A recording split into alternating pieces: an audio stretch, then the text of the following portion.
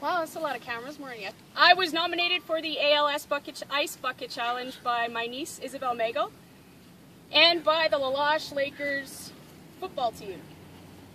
I nominate my sister Lauren Mago, who has been dodging this for a few weeks, and the new Employment Development Coordinator, Renelle Sylvester, and the new Adult Transitions Coordinator, Donna Janvier. If you'd like to donate to ALS, you can do so at www.als.ca backslash en backslash donate. I'm ready.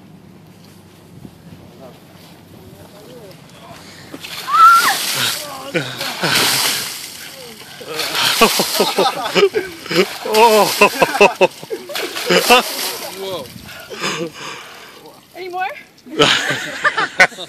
It's enough.